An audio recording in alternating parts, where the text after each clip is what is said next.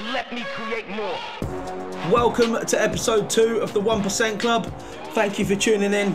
My name is Matthew Davies-Binge, and this episode is called Dream Big and Stop Being Embarrassed About It.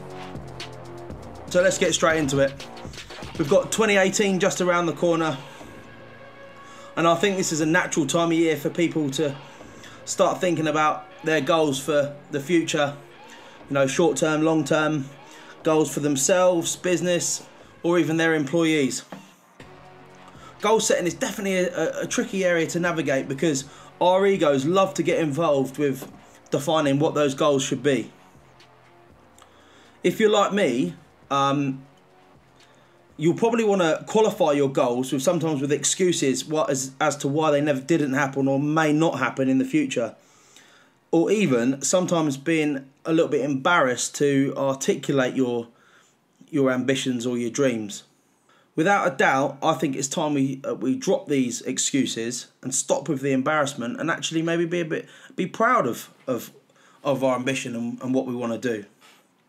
You know, I think I think in the modern society, I think we have a hard time being ballsy about this.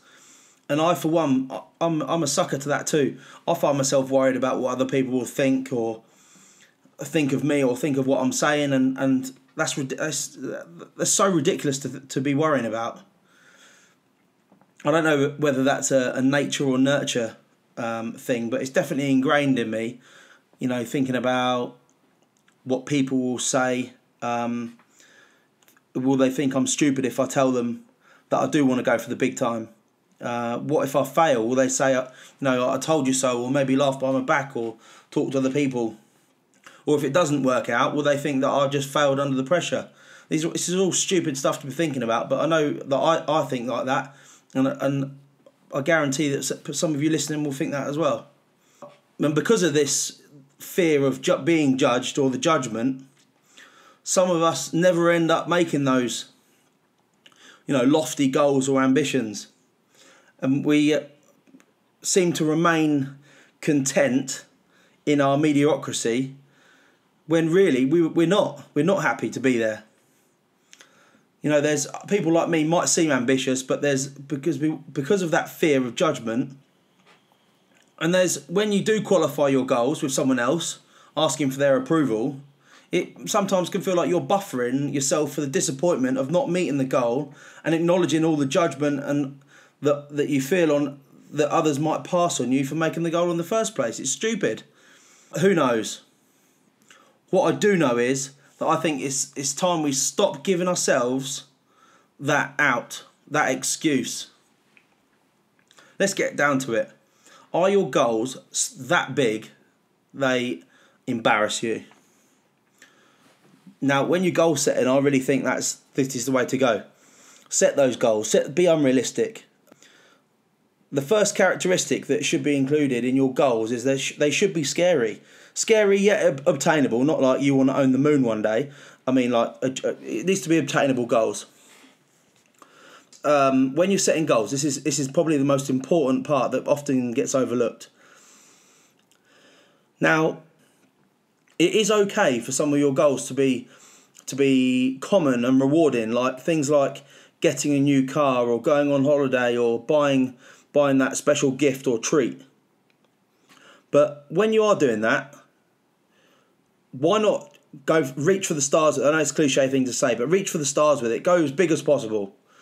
Strive for the outcomes way bigger than what you'd ordinarily desire. Uh, you know, like talking about our business, maybe we're not just going to set a goal this year to increase our end of year profits by, let's say, 35%. Our goal this year is going to be we're going to strive to triple it. Like make make no mistake about it. I think that's important. You know, reach for the stars with anything you do. And if you are, if you do want to get, go for a new car, for example, slap a photo of a red hot Ferrari on your goal board and, and be okay with that. I think you'll be surprised to see how much more you accomplish um, in life by stretching your brain that way. the second characteristic that should be included in this this whole goal setting process is that should be there should be a big a big purpose associated with the why aspect that you're you're setting these goals. We all have these reasons why we get out of bed each day and run the rat race. You know, um, we get in our routines and to a certain extent we follow the system of working to live, not the other way around. If your mission this year is to make something big happen, then you must recognise the reason uh, behind that. You know, like if you wanted, if you do want that new car, just because it will make you happy, then that's fine. Don't be ashamed to admit that that some of your purposes that they are they are self-serving, and that is all right. Just be aware that whatever your purpose may be, if you associate it directly with your goal, the results will be so much better. Now, I'll massively encourage you to do, write your goals and you know ambitions down for 2018. But if you are setting goals, I, ta- I challenge you to take a look at what they are at the moment and ask yourself the following questions. This is really important.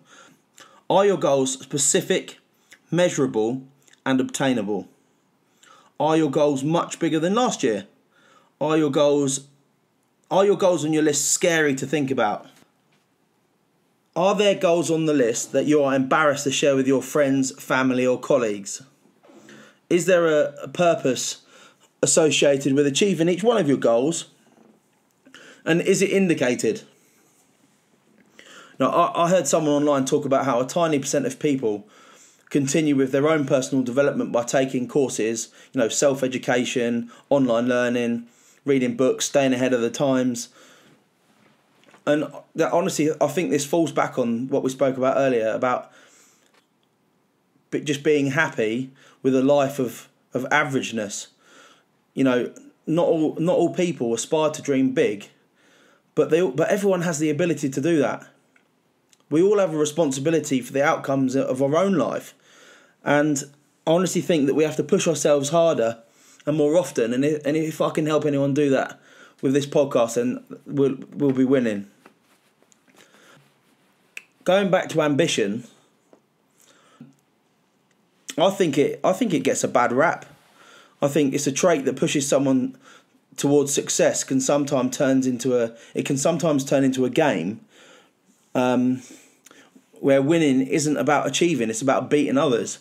Now Gary Gary Vaynerchuk who I'm, who I'm a massive fan of um, talks about there's nothing wrong building the biggest skyscraper in the city but in doing in building your own skyscraper don't be pulling down everyone else's you know just there's nothing wrong with wanting to be the biggest and the best but do it the right way you know, this ambition we're talking about, if you channel it correctly, you really can bring in real results and results the right way. So I've written down six things here about how you can harness your ambition and focus on success over beating the competition. Number one, set your goals but don't share them. Ambitious people are, are very goal orientated and are always striving towards the, the next accomplishment. Um, but a healthy ambition does it also involve keeping some of those goals, goals, dreams, and ambitions, that really big ones that weigh heavy on your heart, keeping them private. Um, psychologists have actually found out that when you tell someone um, your goal, this is a fact, it is less likely to happen when you tell someone, you, it actually tricks your mind into the feeling that it's already done.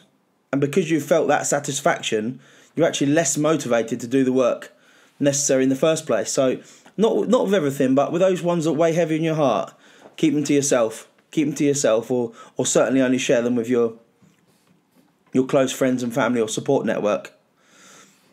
Number two, they are willing to take risks ambitious people tend to act with purpose but allow themselves room to explore and experiment um, and definitely discover. And in that discovery, there's quite often a breakthrough will emerge from a from a difficult time, and I, know I know that from from personal experiences. Number three, they expose themselves to new ways of thinking. ambitious people, um, without question, these days need to expose themselves to these new way of thinking. I, for one, would love to talk to and learn from people who are different from me. You know, open open to dialogue with acquaintances or even select strangers that you know from your industry. And you'll be surprised. You may undercover uncover interesting opportunities. Doing this forces you to grow, often in unexpected ways. Number four, they are focused on execution. Now, often people spend the most time working on building their own skill set or researching solutions or possibilities. While it is is wise to craft and execute a strategy for that, for example, ambitious people put the main emphasis on pulling the trigger. You know, you've got to be an executor who gets it done. If your execution is poor, and this goes across the board, by the way, if your execution is poor, then nothing else matters. Number five, they don't compete with other people. As we spoke about earlier, your biggest competitor looks you in the mirror every day. That's the only person you need to be worried about. Um, you've got to avoid the trap of falling into comparing yourself with others or measuring your success about what other people have got, or he's got this, or he's got that, or she's done this. Like who who cares? Just concentrate on your own alleyway. Number six, they surround themselves with other ambitious people. Now, this is, for me, this is absolutely massive. And I'm probably going to do another podcast purely on this topic. It's about applying the power of proximity by networking with clusters of other successful people. The late, great Jim Rohn said, You've probably heard this a million times on the internet, but this is true. And not only is it true, it's an absolute fact. You are the average of the five people you spend the most time with. Find role models, befriend them, learn from them, make mentors, make friends with smarter people, people that are smarter than you or are much more successful in the fields that you're interested in or are, currently in. Um, I mean, it's just so important. Um, so yeah, that's my that's my list of six. Anyway, that's the end of this week's podcast. Thank you so much for listening. We've got loads more content to come. But stay tuned. Thanks for listening. Hit the like, subscribe, and follow if you want to hear more. I've been Matt Davies-Binge, and remember, keep the faith. It'll all be worth it in the end. Let me create more.